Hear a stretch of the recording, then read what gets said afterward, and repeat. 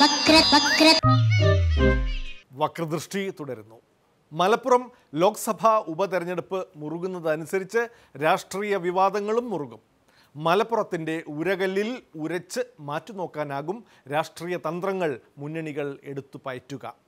U D F വിട്ട കേരള കോൺഗ്രസ് മലപ്പുറത്ത് ലീഗിനെ പിന്തുണയ്ക്കുന്നതും യു ഡി എഫിലേക്ക് മാണിയെ മടക്കി വിളിച്ചതും മലപ്പുറത്ത് പ്രചാരണ ആയുധമാക്കുകയാണ് സി പി എം.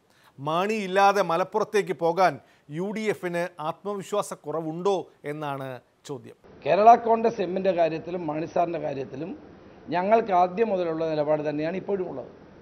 മാണിസാറും മാണിസാറിന്റെ പാർട്ടിയും യു ഡി എഫിന്റെ ഘടകകക്ഷിയായിരുന്നു. അവർ വിട്ടുപോകണമെന്ന് ഞങ്ങൾ ആരും ആവശ്യപ്പെട്ടിട്ടില്ല. അവർ വിട്ടുപോയി. പ്രത്യേക നിലപാട് സ്വീകരിച്ച് നിൽക്കുന്നു. മലപ്പുറം ഉപതെരഞ്ഞെടുപ്പിൽ കുഞ്ഞാലിക്കുട്ടിക്ക് പിന്തുണ കൊടുക്കാൻ തീരുമാനിച്ചത് ഞങ്ങൾ സ്വാഗതം ചെയ്യുന്നു. അദ്ദേഹത്തെ ഞങ്ങൾ പറഞ്ഞു വിട്ടതല്ല. ഏത് സമയത്തും അദ്ദേഹത്തിന് യു ഡി എഫിലേക്ക് വരാൻ ഒരു ഒരു പ്രയാസവുമില്ല. കേരള രാഷ്ട്രീയത്തിൽ ഐക്യജനാധിപത്യ മുന്നണി ശിഥിലമായിരിക്കുകയാണ്. ഇക്കഴിഞ്ഞ തെരഞ്ഞെടുപ്പിൽ അവർ തോറ്റു. തൊണ്ണൂറ്റിയൊന്ന് സീറ്റ് ഇടതുപക്ഷ മുന്നണിക്ക് കിട്ടി. യു ഡി എഫിന്റെ ആത്മവിശ്വാസം നഷ്ടപ്പെട്ടു. അതുകൊണ്ടാണ് K M Mani U D F വിട്ട് പുറത്തുപോയി. ഇപ്പോൾ മലപ്പുറത്ത് തെരഞ്ഞെടുപ്പ് പ്രഖ്യാപിച്ചപ്പോൾ മുന്നണി വിട്ടുപോയ മാണിയെ മുസ്ലിം ലീഗ് തിരിച്ചു വിളിച്ചിരിക്കുകയാണ്. ഓപ്പണായിട്ട് മാണി സാർ തിരിച്ചു വരണം എന്ന് പറഞ്ഞ പാർട്ടിയാണ് ലീഗ്. അപ്പോൾ തെരഞ്ഞെടുപ്പിന് ശേഷം അതേ അഭിപ്രായത്തിലും അതേ കാഴ്ചപ്പാടിലും കാര്യങ്ങൾ തുടരും. മുസ്ലിം ലീഗിന് ഈ മലപ്പുറത്ത് ഇത്ര വലിയ ആത്മവിശ്വാസം ഉണ്ടെങ്കിൽ എന്തിനാണ് വിട്ടുപോയ മാണിയെ തിരിച്ച് ഈ മലപ്പുറത്ത് കൊണ്ടുവന്നത്? എന്ന് നിങ്ങൾക്ക് തോന്നുന്നുണ്ടോ? കാരണം ഞങ്ങളെ കൂടെ ഉണ്ടായിരുന്ന ഒരാളോട് ഞങ്ങൾ തിരഞ്ഞെടുപ്പ് വരുമ്പോൾ പിന്തുണ വഹിക്കുന്നത് ആത്മവിശ്വാസത്തിന്റെ കുറവാണോ? പിന്നെ മലപ്പുറത്ത് ഞങ്ങൾക്ക് ആത്മവിശ്വാസം ഇല്ല എന്ന് പറഞ്ഞാൽ നിങ്ങളത് വിശ്വസിക്കാൻ നിൽക്കേണ്ട കാര്യമുണ്ടോ? ഒറ്റയ്ക്ക് ജയിക്കും മലപ്പുറത്ത് എന്ന് വീമ്പളക്കിക്കൊണ്ടിരിക്കുന്ന മുസ്ലിം ലീഗിന്റെ ആദ്യത്തെ പരാജയമല്ലേ മാണിയെ ഇവിടെ തിരിച്ചു വിളിക്കേണ്ടി വന്നത്? മാണി സാറിനെ ഞങ്ങളാരും പുറത്താക്കിയതല്ല. മാണി സാർ സ്വയം എടുത്ത തീരുമാനമാണ്. അങ്ങനെ സ്വയം എടുത്തു പോയ ഒരാളോട് തിരിച്ചു വരണം എന്ന് പറയുന്ന രാഷ്ട്രീയ പാപ്പരത്വമാണെങ്കിൽ തൊഴിച്ചു പുറത്താക്കിയവരുടെ വീട്ടിൽ ചെന്ന് കാൽ പിടിക്കണമെങ്കിൽ അവരെക്കുറിച്ച് എന്താ പറയേണ്ടതെന്ന്? കേരളത്തിലെ യു ഡി എഫ് അഞ്ചു കൊല്ലം ഈ മൂന്ന് പേരുടെ ഒരു സഖ്യമായിരുന്നു. Oommen Chandy Kunhalikutty K M Mani. കുഞ്ഞൂഞ്ഞ് Kunjappa Kunjumani. ഈ മൂന്ന് കൂ ഇവരുടെ ഭരണമായിരുന്നു അഞ്ചു കൊല്ലം. അതിൽ ഒരു കൂ നേരത്തെ തെറിച്ചുപോയി കുഞ്ഞുമാണി രണ്ടാമത്തെ കൂ കുഞ്ഞാപ്പ. ഇപ്പോൾ ഡൽഹിക്ക് പോകുമെന്നാണ് പ്രഖ്യാപിച്ചിരിക്കുന്നത്. അവിടെ എത്തുമെന്നുള്ള വേറെ കാര്യം. പക്ഷെ ഇവിടുന്ന് വിടണമെന്ന് അദ്ദേഹത്തിന് എന്തുകൊണ്ട് തോന്നി?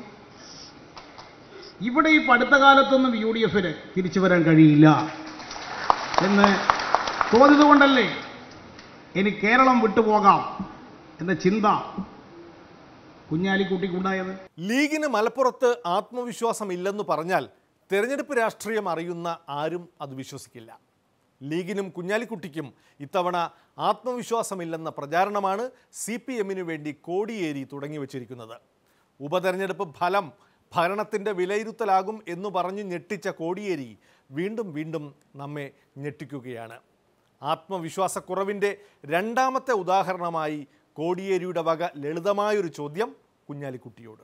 ഞാനൊരു ലളിതമായ ചോദ്യം ചോദിക്കട്ടെ മുസ്ലിം ലീഗിനോട്?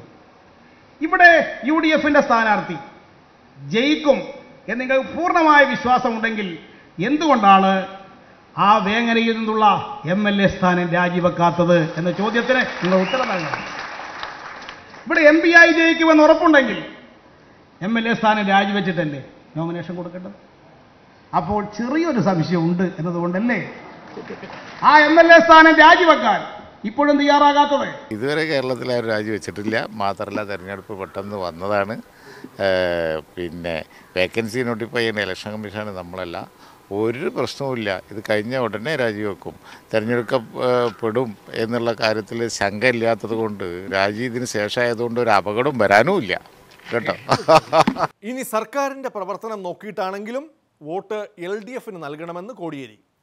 സർക്കാരിനെതിരെയുള്ള വിമർശനങ്ങൾ മറച്ച് പെൻഷൻ ഉയർത്തിയാണ് കോടിയേരിയുടെ വാദം.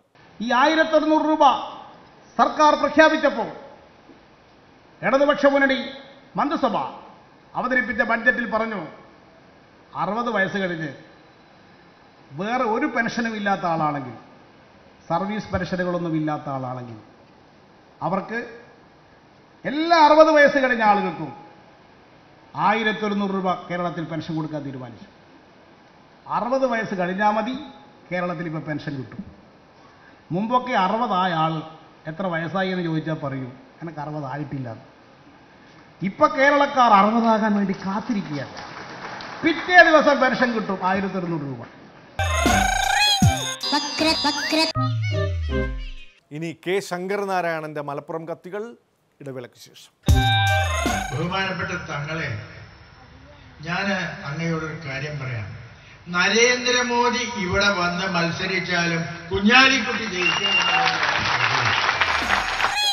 വക്ര വക്ര. വക്ര വക്ര. മുൻ മഹാരാഷ്ട്ര ഗവർണറും കോൺഗ്രസ് നേതാവുമായ കെ ശങ്കരനാരായണന് മലപ്പുറം ഉപതെരഞ്ഞെടുപ്പ് ഫലത്തെക്കുറിച്ച് സംശയങ്ങളൊന്നുമില്ല. കേരളത്തിൽ കോൺഗ്രസിനെ അധികാരത്തിലേക്ക് തിരികെ കൊണ്ടുവരാൻ ചില മന്ത്രവാദ ക്രിയകൾ നിർദ്ദേശിക്കുന്ന ശങ്കരനാരായണൻ മുന്നണിയുടെ ഇപ്പോഴത്തെ അവസ്ഥയെക്കുറിച്ച് സത്യസന്ധമായ നിരീക്ഷണങ്ങളും നടത്തും തങ്ങൾ പറഞ്ഞു കഴിഞ്ഞ പ്രാവശ്യം കിട്ടിയതിനേക്കാൾ കൂടുതൽ വോട്ട് കിട്ടണം എന്ന്. ബഹുമാനപ്പെട്ട തങ്ങളെ ഞാൻ അങ്ങയോടൊരു കാര്യം പറയാം. നരേന്ദ്രമോദി ഇവിടെ വന്ന് മത്സരിച്ചാലും കുഞ്ഞാലിക്കുട്ടി ജയിക്കും കുഞ്ഞാലിക്കുട്ടിയുടെ ജയസാധ്യതയെക്കുറിച്ച് വീണ്ടും. തിരഞ്ഞെടുപ്പിന് നിൽക്കുന്നതിന്റെ മുമ്പ് ജയിക്കുക. നമ്മളൊക്കെ ശീർഷാസനം ചെയ്തിട്ട് ഉരുണ്ടിട്ട് ശയനപ്രദക്ഷിണം ചെയ്തിട്ടൊക്കെയാണ് ജയിച്ചത് ഏ, എന്നാ തന്നെ ജയിച്ചു കിട്ടുമെന്ന് നോക്കാം ഞാൻ കുഞ്ഞാലിക്കുട്ടി സാഹിബ് അവിടെ ഇറങ്ങിയിട്ട് ഇങ്ങനെ വരുന്ന കണ്ടപ്പോ കൂട്ട് എണ്ണി തൊഴിയോ എന്നുള്ളതാണ് എന്റെ മനസ്സിൽ പിണറായി സർക്കാരിനെ കുറിച്ച്. പൊട്ടിയെ കെട്ടിയാൽ കെട്ടിയാൽ പുലർത്തണം എന്നാണ് നിയമം. പൊട്ടിയെ കെട്ടിയാൽ ചെവി കേൾക്കില്ല പറയാനറിയില്ല പറഞ്ഞാൽ തിരിയില്ല കണ്ണ് കാണില്ല. അങ്ങനെ ഒരുത്തിയെ കെട്ടി കൊണ്ടുവന്നാൽ ഈ കെട്ടിയവൻ പുലർത്തിക്കോണം. അപ്പൊ കേരളത്തിലെ ജനങ്ങളെ യു ഡി എഫിന് എതിരായിട്ട് വോട്ട് ചെയ്ത് ഈ പൊട്ടന്മാരെയും പൊട്ടികളെയും കൊണ്ടുവന്ന് നിങ്ങൾ അനുഭവിക്കും. കുഞ്ഞാലിക്കുട്ടി ഡൽഹിക്ക് പോയാൽ ഇവിടെ എന്തെങ്കിലും സംഭവിക്കുമോ എന്ന് ചോദിച്ചാൽ ഇവിടെ ഇതിലും കൂടുതൽ എന്തു വരാനെന്ന് കെ ശങ്കരനാരായണൻ. സത്യം. എന്റെ ഒരു അഭിപ്രായം ഈ അവസരത്തിൽ കുഞ്ഞാലിക്കുട്ടി സാഹിബിനെ പാർലമെന്റിലേക്ക് അയച്ചത് നന്നായി. ഇവിടെ അതുകൊണ്ട് യു ഡി എഫിന് ക്ഷീണം വരുമോ എന്ന് ചോദിച്ചാൽ തൽക്കാലം ഇതിൽ കൂടുതൽ ക്ഷീണമൊന്നും വരില്ല. തൽക്കാലം ഇതിൽ കൂടുതൽ ക്ഷീണമൊന്നും വരില്ല. ഞാൻ പറഞ്ഞ തെറ്റാണെന്ന് തെറ്റാണെന്ന് കരുതിക്കോളൂ. തൽക്കാലം ഇതിൽ കിടക്കിയ ക്ഷീണമൊന്നും വരില്ല. പിന്നെ കോൺഗ്രസിനും യു ഡി എഫിനും ചരമഗീതം എഴുതാമെന്ന് ആരെങ്കിലും വിചാരിച്ചാൽ ഈ ദുനിയാവുള്ളിടത്തോളം കാലം നടക്കില്ല. ഇതൊക്കെ എത്രയോ കണ്ടതല്ലേ?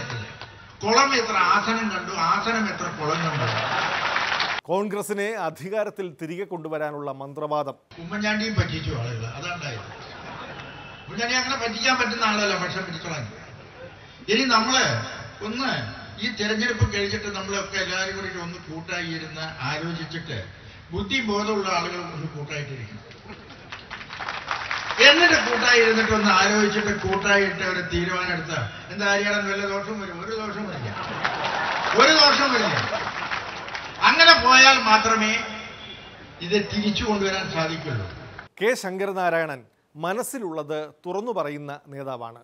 ഉപതെരഞ്ഞെടുപ്പ് മലപ്പുറത്തായത് നന്നായെന്ന്. ഏതായാലും ഇവിടെ ബൈ ഇലക്ഷൻ വന്നത് അഹമ്മദ് സാഹിബ് മരിച്ചു പോയാലും നമുക്ക് സങ്കടമുണ്ട്. ഇത് വേറെ എവിടെയെങ്കിലും വന്ന് പെട്ടുവെച്ചാൽ നമ്മൾ ഹലാക്കായേനെ നമ്മളെ പണി തീർന്നു ഇവിടെ ആയതുകൊണ്ട്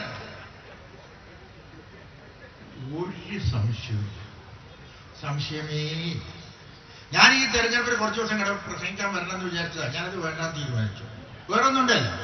ഇതിന് ഇതിനി പ്രസംഗത്തിന്റെ ഒന്നും ആവശ്യമില്ല. വോട്ട് ചെയ്യാൻ പോയി. വോട്ട് ചെയ്താൽ മതി. തങ്ങളെ ഞാൻ പറയണു അഹമ്മദ് സാഹിബ് കിട്ടിയതിനെക്കാട്ടിലും ഒരു വോട്ടെങ്കിലും വോട്ടെങ്കിലും കൂടുതൽ കിട്ടും. അതിനുള്ള മന്ത്രവാദമൊക്കെ നമ്മളെ കയ്യിലുണ്ട്. ഈ ഉപകാരം ഞാൻ ഒരിക്കലും മറക്കൂല. നന്ദിയുണ്ട് സാറേ നന്ദി. കാണാനൊരു ലുക്കില്ലെന്നേ ഉള്ളൂ. ഭയങ്കര ബുദ്ധിയാ. ഈ മലപ്പുറം കത്തികളോടെ ഇന്നത്തെ വക്രദൃഷ്ടി സമാപിക്കുന്നു. വീണ്ടും നാളെ ഇതേ സമയം. നന്ദി നമസ്കാരം.